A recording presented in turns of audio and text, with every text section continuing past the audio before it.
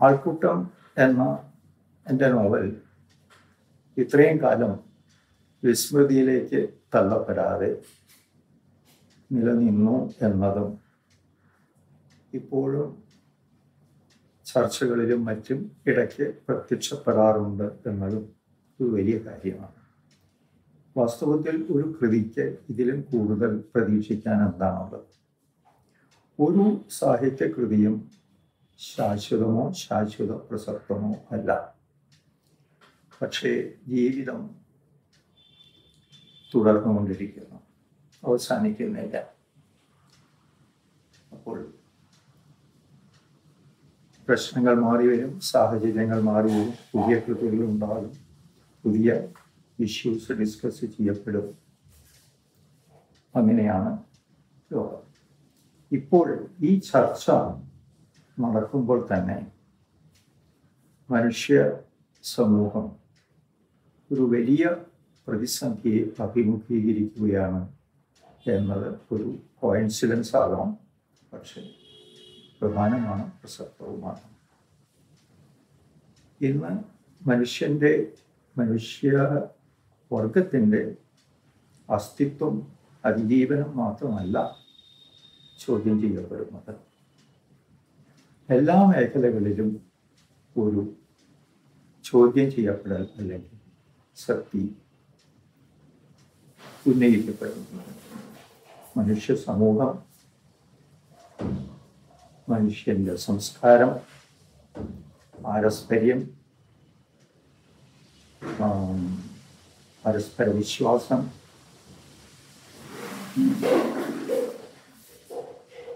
ഉം, സ്നേഹം ബന്ധങ്ങൾ എല്ലാം ഉലയുകയാണ് എല്ലാം ശിഥിലമാകുന്ന ഒരവസ്ഥ നമ്മൾ അഭിമുഖീകരിക്കുന്നു. തീർച്ചയായും ഈ കടമ്പ മനുഷ്യ സമൂഹം തരണം ചെയ്തേക്കാം. അതിഭീകരമായ മഹാമാരികളും യുദ്ധങ്ങളും മനുഷ്യരെ ആകെ ഉലച്ച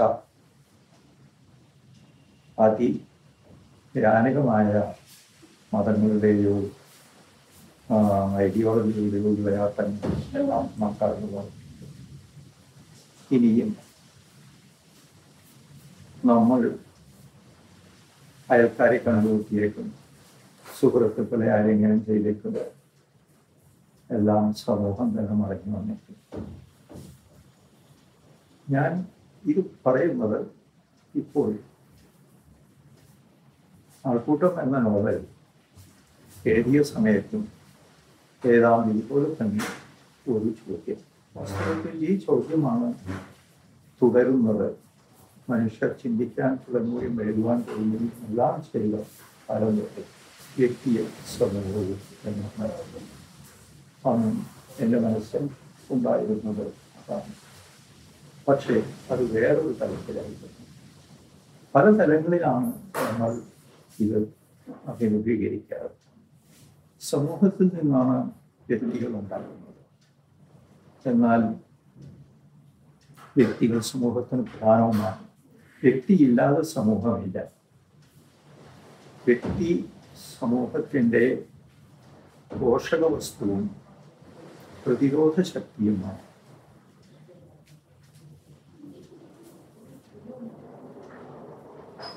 വ്യക്തികൾ ഇല്ലെങ്കിൽ വ്യക്തിയുടെ പ്രസൻസ് ഇല്ലെങ്കിൽ സമൂഹം ആൾക്കൂട്ടമായി മാറിപ്പോകും.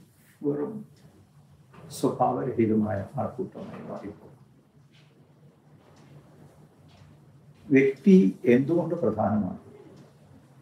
വ്യക്തിയുടെ തലത്തിലാണ് സുഖവും ദുഃഖവും മനുഷ്യൻ അറിയുന്നത് മനുഷ്യ സമൂഹത്തെ മുന്നോട്ട് കൊണ്ടുപോകാനുള്ള പ്രസ്ഥാനങ്ങളും ആശയങ്ങളും എല്ലാം പ്രധാനമാകുന്നത് അവ വ്യക്തിയുടെ തലത്തിൽ എങ്ങനെ അവസാനം അനുഭവപ്പെടും എന്നതാണ്. അതുകൊണ്ട് വ്യക്തിയാണ് ടെസ്റ്റിംഗ് പോയിന്റ് എന്നാൽ വ്യക്തികൾ എങ്ങനെ എല്ലാ കാലത്തും ഇതിനെ അഭിമുഖീകരിച്ചു നോക്കാം?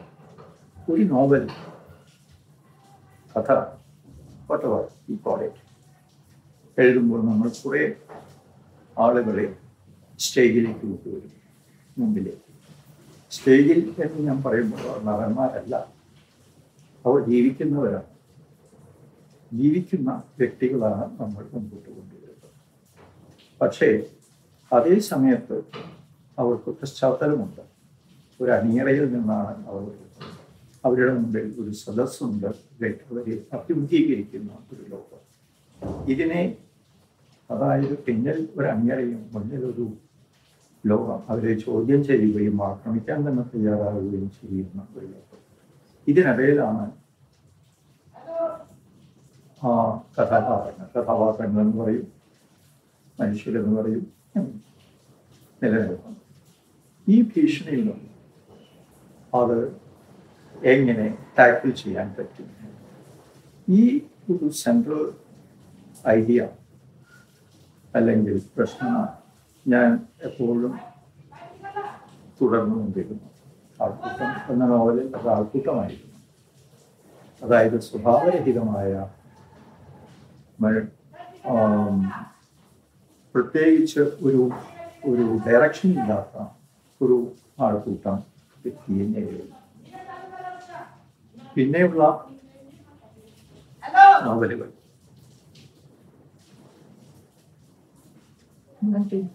ഫോർ എക്സാമ്പിൾ അടുത്ത നോവലുകൾ നേരത്തെ അത് മനുഷ്യരെ വ്യക്തികളെ ഡിസ്പൊസസ് ചെയ്യുക പുറത്തെടുക്കുക പുറത്താക്കുക കുടിയിറക്കുക ചെയ്യുന്ന വൻ ശക്തികളായിരുന്നു അവരുടെ മുമ്പിൽ പിന്നീട് ഒരു വഴി കൂടി മുന്നോട്ട് പോകുമ്പോൾ ഞാൻ നേരിട്ടത് സമൂഹത്തെ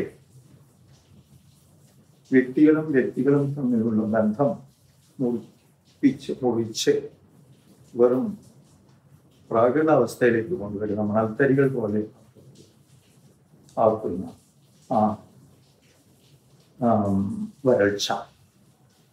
മനുഷ്യ മനസ്സിനെ ആക്രമിക്കുന്ന വരൾച്ച എന്ന കേന്ദ്രമായ അവിടെ നിന്ന് അങ്ങോട്ട് പോകുമ്പോൾ കാലാതീതമായ അനീതി കാലാതീതവും സ്ഥലാതീതവുമായ അനീതി തിരഞ്ഞെടുത്തു പ്രശ്നം ഇത് തന്നെയാണ് വ്യക്തിയും സമൂഹവും. ഇനിയും കൂടെ മുന്നോട്ട് പോകുമ്പോൾ വേറൊരു തലത്തിൽ അത് ദുർബലരും ബലഹീനരും ബലവാന്മാരും തമ്മിലുള്ള ഒരു ഏറ്റുമുട്ടൽ. അത് നമ്മൾ വ്യത്യസ്തത്തിൽ അത് കാണാവുന്ന ഒന്ന്. പല തലങ്ങളിലും ഒന്ന്. സ്ത്രീ. സമൂഹത്തിന്റെ പകുതിയോളം വരുന്ന സ്ത്രീ. പേട്രിയാർക്കിയുടെ നിരന്തരമായ സമ്മർദ്ദത്തിലും അക്രമത്തിനും വിധേയരാകുന്നു.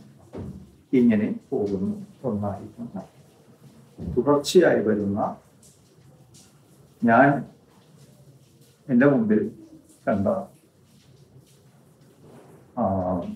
വിഷയം അതായത് ഇനി ഒരു കാര്യം ചോദിക്കാം. ഞാനൊരു എഞ്ചിനീയർ ആയിരുന്നു ത്രൂ ഔട്ട് എന്റെ ജീവിതത്തിൽ ഞാൻ കൺസ്ട്രക്ഷനാണ് ചെയ്തുകൊണ്ടിരുന്നത്. ഈ പീരീഡിൽ ഈ അമ്പതോ മുപ്പതോ അറുപതോ കൊല്ലങ്ങളിൽ എന്നെ ഏറ്റവും കൂടുതൽ അലട്ടിയത് ഡിസ്ട്രക്ഷനാണ് ചുറ്റും കണ്ടിരുന്ന ഡിസ്ട്രക്ഷൻ ഒന്നായിരുന്നു എന്ന് മാത്രമല്ല നമ്മുടെ ഇന്ത്യയെ സംബന്ധിച്ചിടത്തോളം സ്വാതന്ത്ര്യത്തിന് ശേഷമുള്ള കാലം ലോകത്തിനെ സംബന്ധിച്ചിടത്തോളം തുടക്കം ഉള്ളത് മനുഷ്യ സമൂഹത്തെ വിശേഷിച്ചും ചിന്തിക്കുന്ന കോൺഷ്യസ് ആയ വ്യക്തികളെ അലട്ടുന്ന പ്രശ്നം ഡിസ്ട്രക്ഷൻ